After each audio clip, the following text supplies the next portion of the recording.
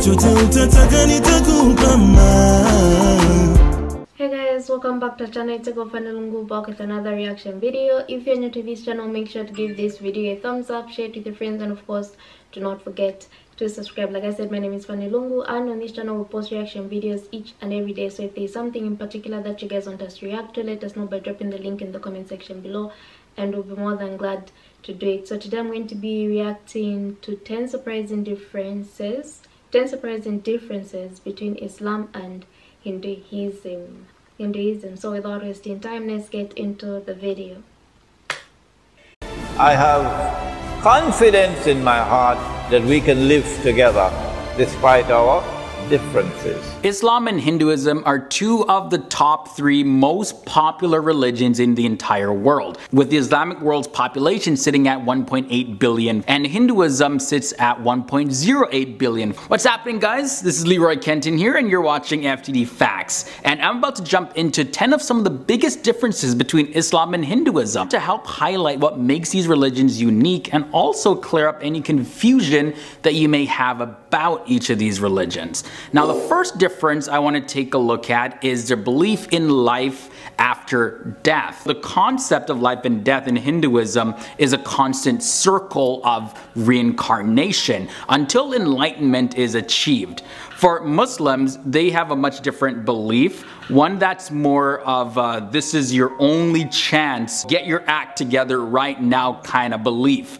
According to Islamic teachings, all human beings are created with the ability to reason and to make intelligent choices and will be accountable to God on the day of judgment. They'll be rewarded with either eternal life for their good deeds or they're punished for their evil deeds. So it's kind of like, you know, you're on this planet right now get it right. Find out like what are the good deeds that you gotta do. Now I wanna take a look at the meaning between the two words, Hinduism and Islam. So first I wanna look at Hinduism. Hinduism is the ancient religion of India. It's the third largest religion in the world with over 1 billion followers. And for many people, it's very difficult to understand what Hinduism is because in so many ways, it is more like a disorganized religion than an organized religion. Hinduism, the root word Hindu has geographical significance and was used originally for those people who live beyond the river Sindhu or the region of waters by the river Indus. Hindus themselves call their religion Sanatana Dharma, meaning eternal law. So Hindus don't actually say, I'm Hindu. The only language Hindu is called Hindu is in English. For Islam, Islam is an Arabic word and it means submission or surrender in ultimate peace. Muslim means a believer in one God Allah. But that's pretty much what they mean in a nutshell. Now let's take a look at the differences with their scriptures. In Hinduism, they use Vedas, Upanishad, Puranas, Gita, Smriti, and Sruti are the oral scriptures. And in Islam, the Quran and the traditions of the holy last messenger Muhammad called the Sunnah, which is found in narrations or hadiths. And I've started to read the Bhagavad Gita, the, the Hindu book, as well as the Quran for myself, just to kind of find out two completely different writing styles and tones. But that's just me, I like learning and it's life changing just to understand someone else's beliefs. Alright, let's take a look at the differences with the holy days. In Hinduism, there is Diwali, Holi, Ramnavami, Hanuman Jayanti, Ganesh Chaturthi, and many more. There are many holy days in Hinduism, which differ based on the region that you go also. In Islam, there's of course Ramadan, the month of fasting, Eid al-Adha, which is the feast of the sacrifices, and Eid al-Fitr, which is the festival at the end of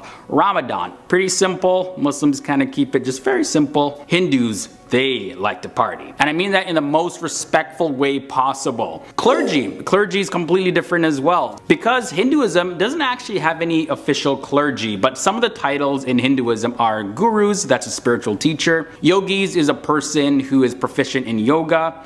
Rishis is a Hindu sage or saint. And then there's Brahmins, which is a member of the highest Hindu caste. There are also priests that perform certain rituals as well as priestesses inside of Hindu Hinduism. Um, they have monks who are members of a religious community of men, typically living under vows of poverty, and some live under a vow of chastity. And nuns as well show up in Hinduism, and that is pretty much the female version of a monk. Instead of Islam, there's the Imam, and Imam leads congregational prayers in a mosque. In Shia Islam, these are also seen as the leaders of the Muslim community. In Islam, there's also sheikhs, and sheikhs are commonly the chief or head of an Arab tribe, family, or village. Then there's a Maulanas, and that's a title that precedes the name of a respected Muslim religious leader. And Mullahs is a Muslim learned in Islamic theology and sacred law, and Muftis is a Muslim legal expert who can give rulings on religious matters. So the main practices and the most popular practices that each of these religions are known for, starting off with Hinduism, there is meditation, there's also yoga, and there's a lot of contemplation, as well as yagna, which is communal worship, and people bring offerings in the temple as well. The most common practice out of that list is probably yoga or meditation. And Islam, the five pillars of Islam, which are the testament that there is one God and Muhammad is his messenger. That's called the Shahada. And then there's a prayer five times a day, fasting during the month of Ramadan, giving to the poor, as well as the pilgrimage to Mecca, and that is called the Hajj. Their places of worship are also different. Inside of Hinduism, there's uh, the temple or the mandir, and in Islam, they worship in mosques or masjids, and they are the most common places of worship, as well as there's community centers and any other place considered clean by Islamic law, you're free to worship there as well. Interesting fact, many Hindu temples are also located near rivers or other bodies of water. The style and the shape of certain temples changes according to the location. So you can go to different parts of the world, you may see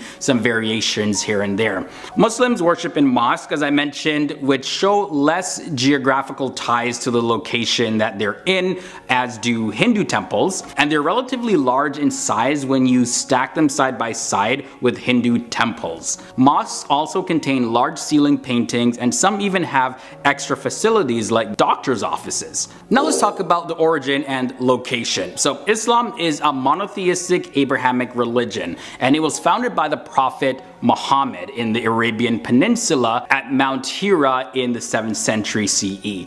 And when I say founder, by the way, I don't mean that he invented the teachings of Islam, rather I mean that he was the instrument used to proclaim the message of the Quran first. An Abrahamic religion means that it has its roots from the prophet Abraham. Hinduism, on the other hand, is a religious tradition that originated in the Indian subcontinent in the pre-classical era, about 1500 to 500 BCE, and it does not have any specific founder. Hindus today, you can find them mainly in India, Nepal, Mauritius, and Hinduism also has significant populations in Fiji, Bhutan, United Arab Emirates, and other parts of the world. Muslims, by the percentage of the total population in a particular region, it looks like this. 24.8% are in Asia, Oceania, 91.2% are in the Middle East and North Africa, 29.6% are in Sub-Saharan Africa, and around 6% are in Europe. 0.6% are located in the Americas. The second last difference I'm looking at is the goal of the religion. First, when it comes to Hinduism, Hindus aim to break the cycle of birth,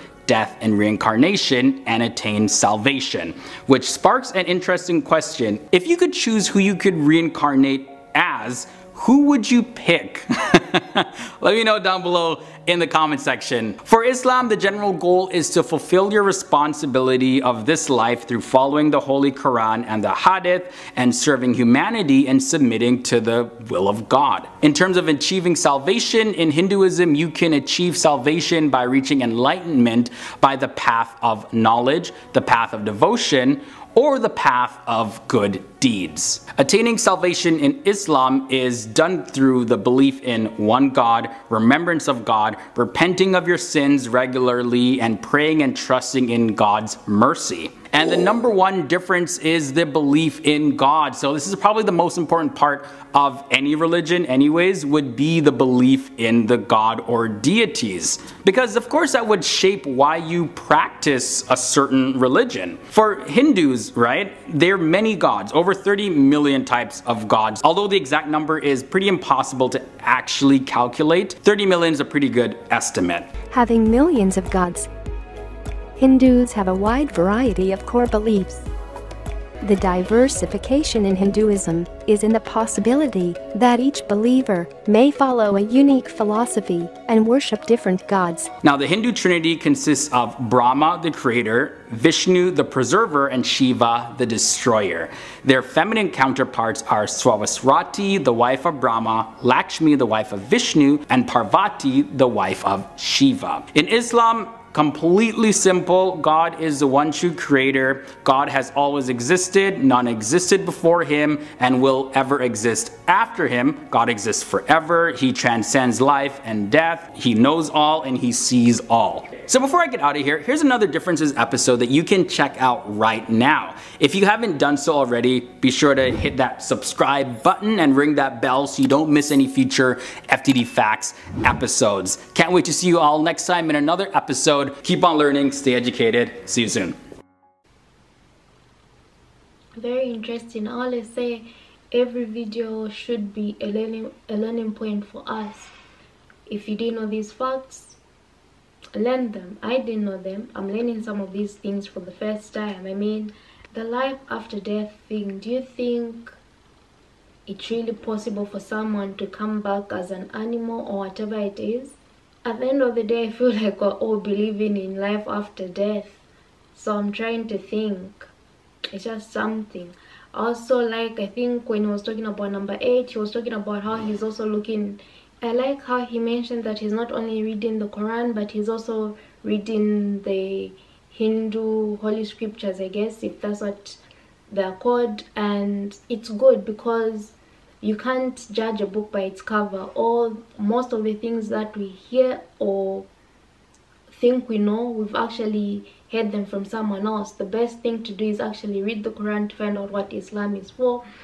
Is all about hinduism read the scriptures christianity read the bible torah for the jews. You have to put yourself in the, in these people's shoes and read for yourself to find out what these religions are all about and then also hinduism when it comes to the multiple gods that's insane. So isn't that just confusion? That's just too much. Doesn't that create confusion or fights or something? I don't know. I'm just wondering.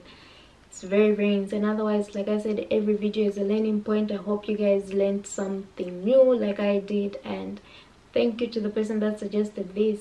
Make sure to give this video a thumbs up share it with your friends and of course do not forget to subscribe and i'll see you in my next reaction video